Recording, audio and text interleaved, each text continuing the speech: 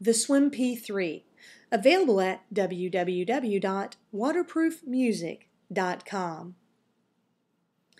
In this video, we want to help our customers with a little troubleshooting.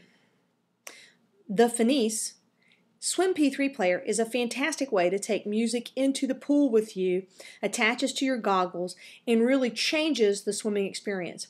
But in some cases, customers have a little bit of problem, and so we get emails that say something like this My SwiMP3 player won't play. What we've discovered through the years is typically there are usually one of four problems and one of four things that you need to do, and it actually clears up about 80% and sometimes more of the challenges customers are having with their SwiMP3 player. So one, we ask them, have you charged your SwiMP3 player? Did you add any music to your SwiMP3 player? And remember, it only holds MP3 or WMA files that will play. If you add Apple format files or folders or other file types, it can cause your player not to play. Did you turn up the volume? Sometimes it is shipped with the volume on a very low setting. And have you tried pressing the reset button? So we're going to take a look at all four of these real quickly just to help you step through troubleshooting your SwiMP3 player. The battery needs to be charged for three hours. You can do that with your computer, but remember your computer needs to be turned on or you can charge it with a wall charger. Many folks prefer the wall charger because it's simpler than leaving their computer on at night. That is available separately on our website at waterproofmusic.com. So in order to charge, you simply pull off the USB cap and put that into the USB port or into your USB wall charger. A few tips.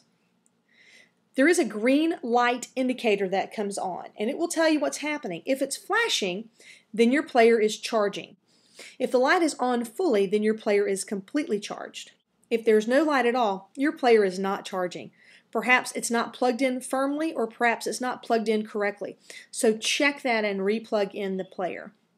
As a reminder, when you're removing it from a drive, make sure that you use an eject button on a Mac or the um, remove USB devices on your PC to protect your computer and the device. You do not want to have files stored on your device that are not music files. In this case, this is an actual screenshot from um, a customer who sent back the player and told us it wasn't working. And in fact, he's right, it doesn't work simply because it can't make music from a JPEG or from a photo file you definitely want to make sure that you are going for the WMAs and the MP3s. And remember that your iTunes files that are encrypted in the AAC format will not work either. You need to convert those to MP3 and then you can load them on your SwiMP3 player.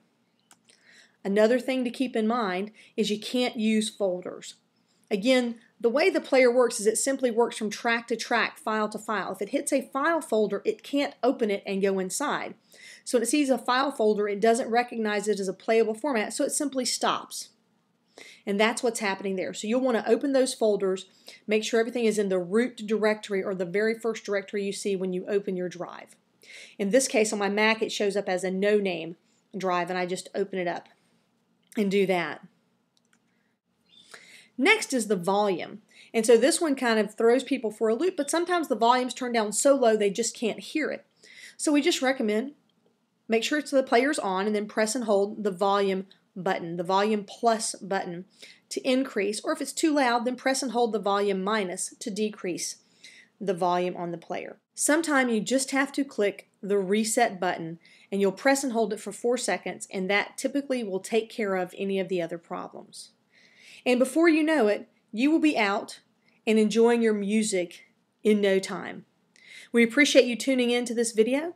You can visit our website to learn more about our SwiMP3 products as well as other waterproof MP3 items at waterproofmusic.com.